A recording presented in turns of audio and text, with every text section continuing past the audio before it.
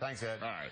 Well, a few weeks ago, we told you about a dog named Macy. She was missing for six years, and thanks to a microchip, was finally reunited with her family. And this weekend, Young Williams is hoping to microchip even more pets in honor of Maisie.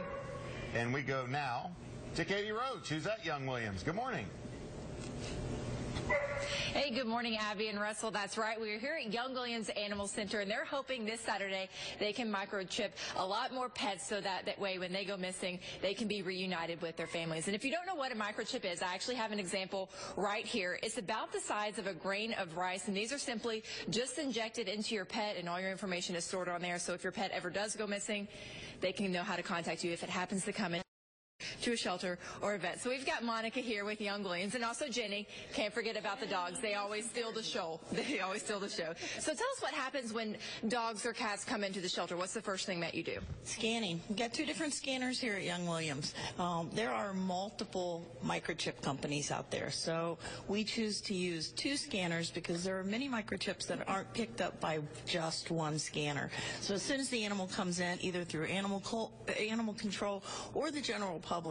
Our intake staff um, here at the Division Street location get the scanner out. They scan the animal to see if they can get that owner information. Yeah, and you can show us how simple that is right now. Because it really is. It's very simple.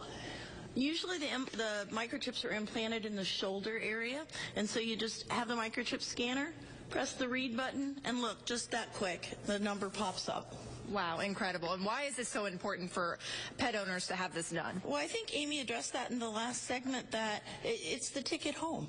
Um, once we get this number, we contact the company that uh, sold uh, the microchip to this family, and we are able then to obtain their information, name, address, um, the animal's information, and we can contact them and say, come down to the shelter, someone's brought your animal in, it's here, come and get it. And you said yesterday this actually happened 12 times just in one day. 12 reclaims yesterday. So microchips are very important. It truly is that ticket home for the animal. Um, the other important part, we always have to remember, keep those microchips up to date. Because if you have a microchip and you've changed your phone number, changed your address, it's not going to do us any good to get your pet back to you if we can't get in touch with you. All right. Well, thanks so much for coming out this morning. Again, Macy Microchip Day is Saturday. It's from 12 to 3, and that's going to be on their Kingston Pike location.